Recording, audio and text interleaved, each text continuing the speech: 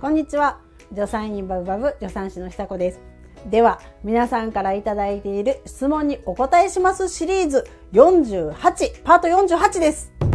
頑張らんで適当でチャンネル登録よろしくね。新着動画の通知が届くよ。ではいただいている質問をどんどん読んでいきます。えー、りょうママさんです。ありがとうございます生後 1, 1歳2ヶ月の姉妹の双子を育てている両ママです。生後6、7ヶ月寝返りしてた頃は保健師さんからの家庭訪問でもいい感じにあの肩の力が抜けていて効率よく回せているとお褒めの言葉をいただきました。自分でも自信があり双子は壮絶と言われるけど自分次第と高をくくっていました。歩き出したのが10ヶ月、11ヶ月。そこからクリアケースは押し倒すわ、引き出しは全て開けるわ、とにかくいたずらっ子。隙は見せられません。先生からも2人とも結構手がかかる方だと言われました。今は言葉が分かってきた分主張も増えてきました。抱っこ抱っこ。育児はワンオペ。旦那は自由人。亭主関白。期待すると疲れるので妊娠初期から、えー、助産師さんには1人では無理と言われましたが1人で頑張ってしまいます。パンクしたら実家にガス抜きに行きます。そんな実母も腰の手術をしなければならないかもしれないとなりました。前の家では上の人からうるさいとクレーム。足でどんどん床を蹴られたりの日々。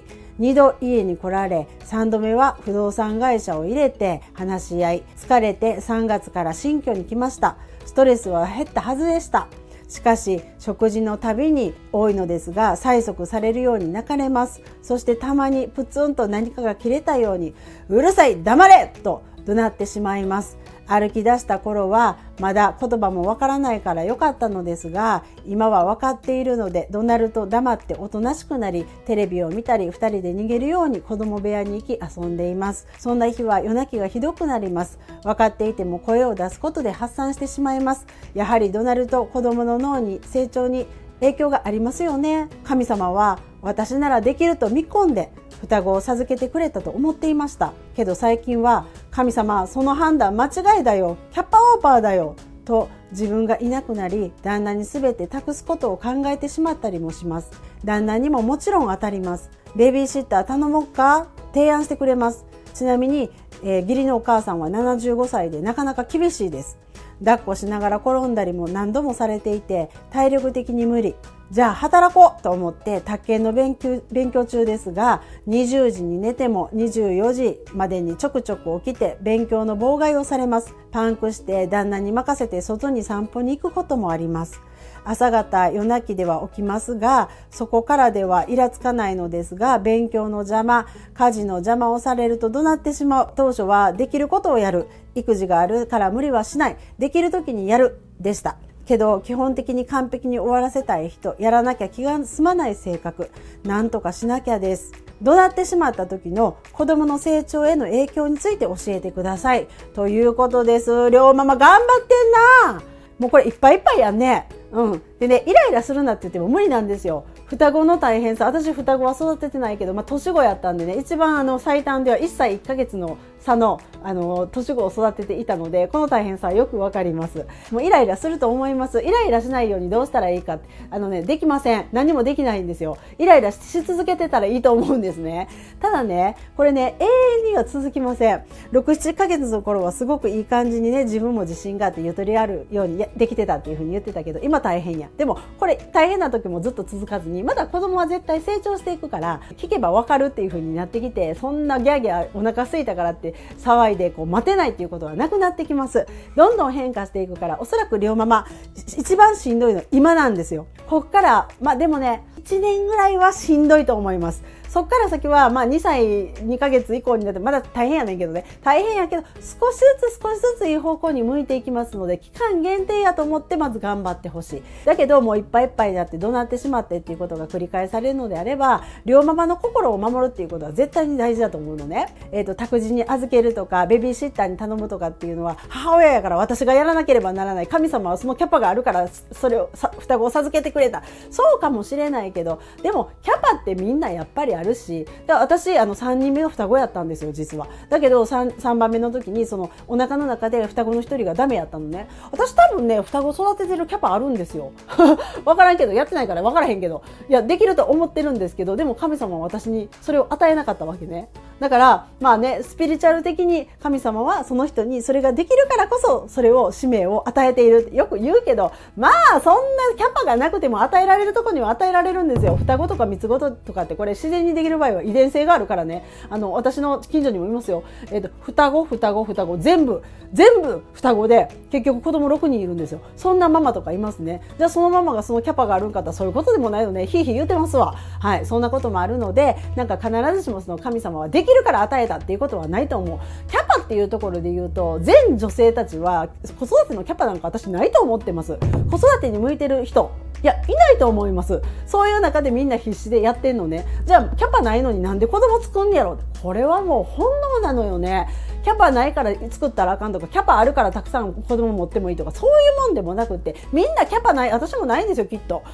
イライラもするしさ、どうだったりもするしさ。でもそういう中で、でも子供が欲しいって思ってやってるのって、まあ自己中っちゃ自己中なんだけど、でもそんな風に自分のことを大切にして、自分の思いに寄り添いながらみんな生きてるんですよ。それでいいと思うんですね。で、りょうママさん、しばらくちょっとお金かかるかもしれへんけどさ、あの、ベビーシッターとか託児、私全然ありだと思うよ。それが永遠に続いてくれたららね、資金面がな、うん、そこも考えなって思うねんけど、期間限定じゃないですか。まあ言うても1年から2年のことやと思うんですよ。この状態って。卓球の勉強したいんでしょ？じゃあその時間を確保するために、両ママの人生をちゃんと大事に考えるために、じゃあそれは子供は預けるっていうことをしたところでね、ママとして失格にはなりません。じゃなくて自分の人生を大事にした上で子供に寄り添えるっていうところをきっちり、えー、冷静に考えて動けるママこそが子供思いのママやと思います。自分のこと大事にできない人って子供のこと大事にできないんですよ。って思うから、託児使ったらいいと思う。ベビーシッターっていう方法もあるし、えっ、ー、と、無認可にはなるけども、無認可のそういう、あの、一時保育に預けるのもありだと思うし、自治体でやってるファミリーサポート制度っていうのがあります。これあの、どこの自治体もやってるんですけども、保健センターの中に、保健所の中におそらくどこの自治体も、あとは、えっ、ー、と、子育て支援センターとか、そういうところにそのファミリーサポート制度っていうののね、事務局が入っています。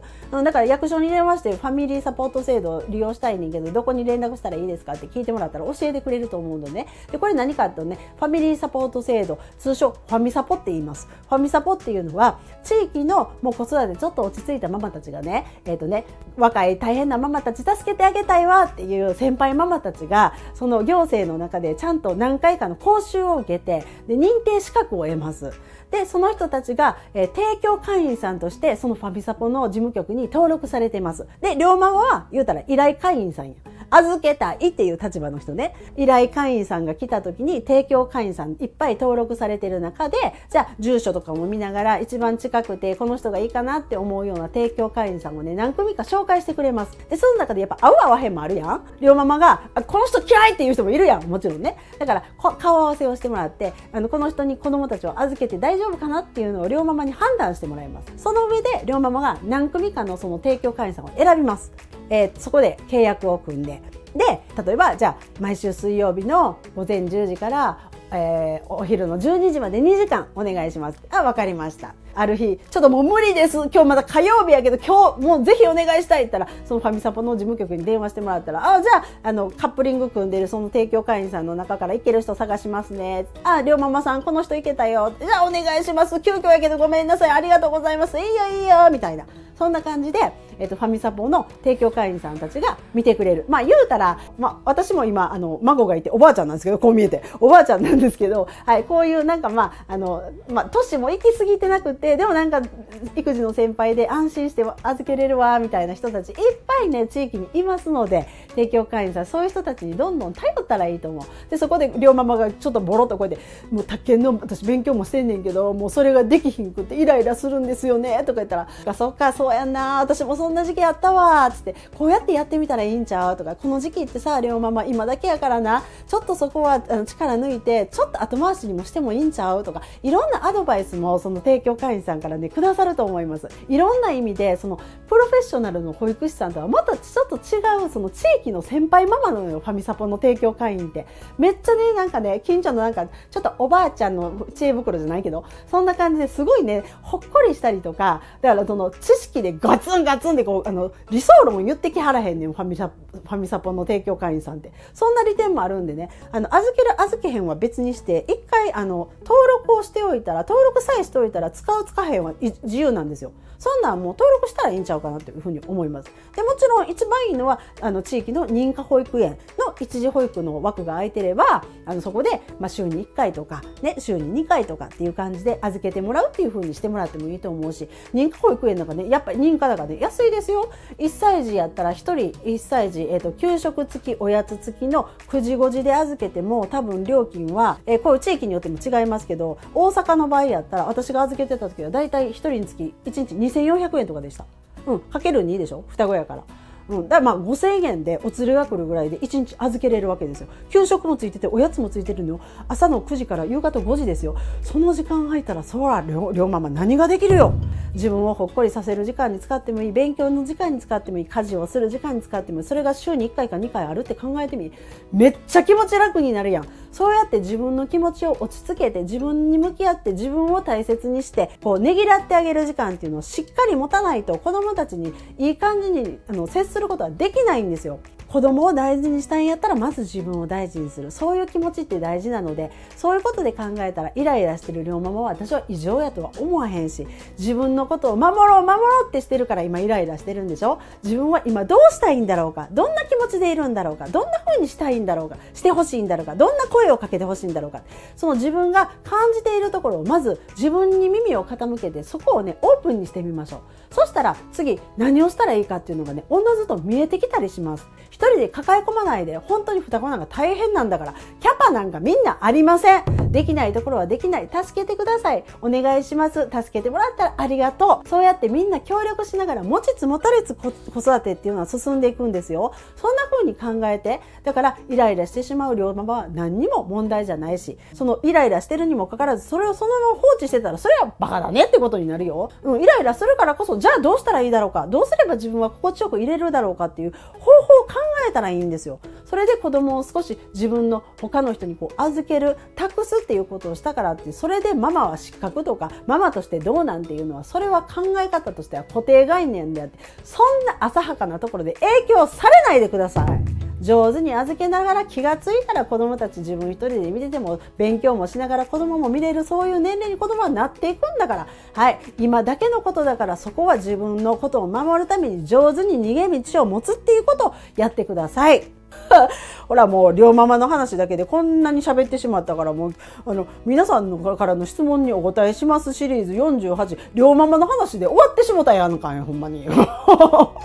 まあ、いいか。はい、一人になりましたけど、ということでね、まあね、同じようなことで悩んでるママもいっぱいいると思うから、はい、子育ては一人で抱え込まないの。しんどいところは上手に自分は不得意だから助けてねっていうことが上手に言える。それこそが育児力、育児力であり、ママの力なんです。そんなことでママが失格とかそんなことは一切ないからそんなアホみたいなとこにとらわれないでくださいね皆さんねわかりましたか？ということでたった一人しか読めませんでした。パート48でした。はい12人目産んじゃいました。助産師久子の子育て学校。チャンネル登録してぜひ入学してください。